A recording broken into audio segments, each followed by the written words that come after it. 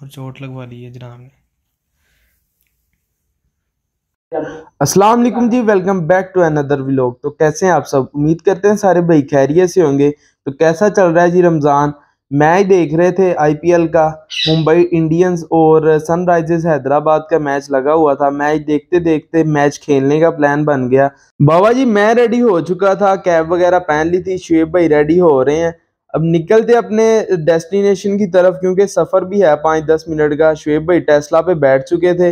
अब निकलते हैं अपने सफ़र की जाने जी बिस्मिल्लाह पढ़ के सफ़र का आगाज़ कर लिया है। वेदर बहुत अच्छा हुआ हुआ है। बहुत सर्दी लग रही थी रास्ते के अंदर जाते हुए। बाकी इस मौसम के अंदर क्रिकेट का तो अपना ही मज़ा है। बाकी मुझे सर्दी लग रही थी रास्ते के अंदर। ले जी, हम लोग अपने प्ले ग्राउंड में पहुँच चुके थे। बाइक वगैरह स्टैंड पे लगा के मैं खड़ा था, हसीब भाई है उनसे सलाम वगैरह ली।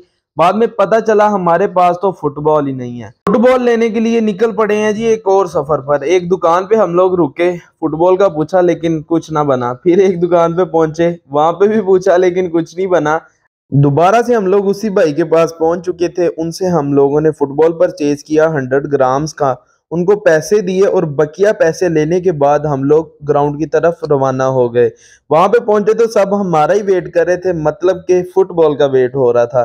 टीम सारी रेडी थी, और भी प्लेयर्स ने आना था।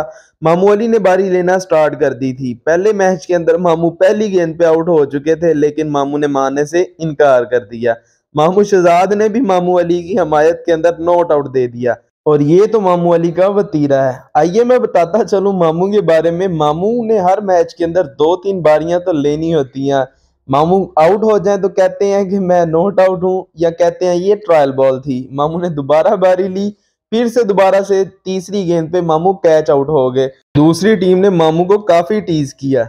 दूसरी टीम काफ़ी खुश थी मामू को आउट करके। दूसरा मैच स्टार्ट हो चुका था।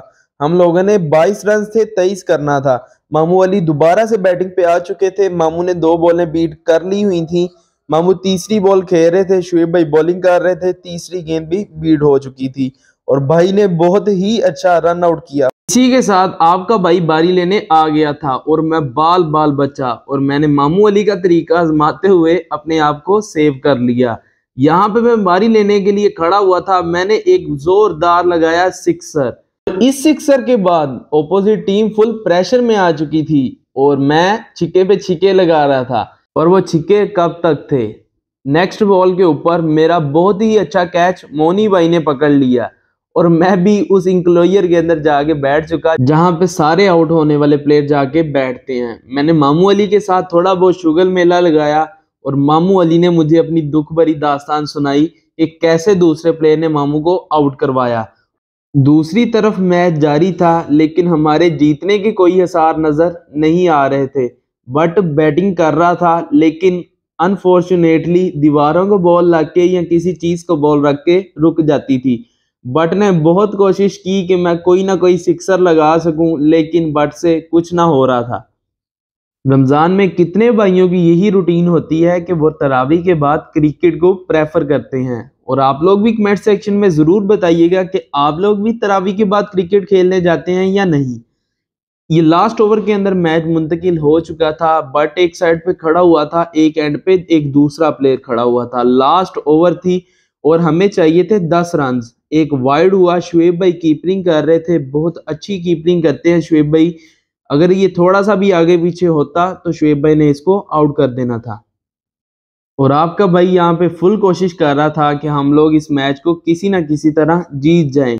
नाजुक सूरत चल रही थी, मामू अली फुल पुरजोश थे कि हम लोग इस मैच को जीत जाएँगे। और बट ने बहुत ही अच्छी शॉट लगाई, लेकिन किसी ना किसी तरह ये भी बॉल रुक गई। नेक्स्ट बॉल पर एक बहुत ही अच्छी शॉट लगाई भाई ने, लेकिन ये भी छिक्का ना हो सका। मामू, अली बाग के गए कि, काश ये छिका हो जाता, लेकिन ये छिक्का नहीं हुआ। अगर ये हो जाता तो हम लोग मैच जीत जाते।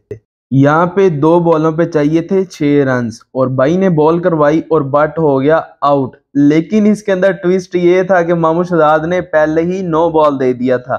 तमाम प्लेयर मामू के खिलाफ खड़े थे, लेकिन मामू अपने फैसले पर अटल थे कि ये नो बॉल ही है।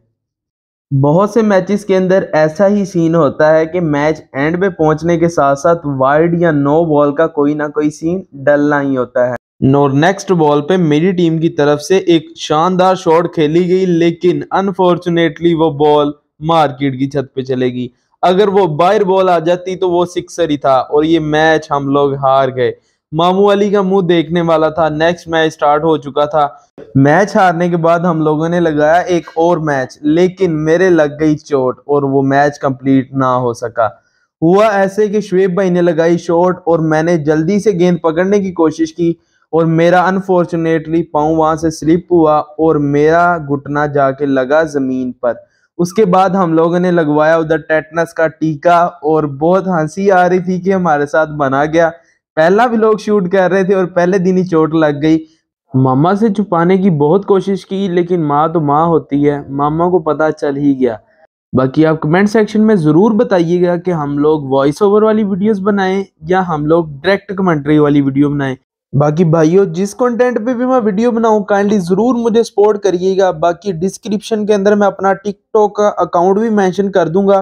काइंडली उसको भी जाके सपोर्ट दिखाइएगा। बाकी नेक्स्ट वीडियो के अंदर मुलाकात होगी, तब तक के लिए इजाज़त दें। अल्लाह हाफिज़।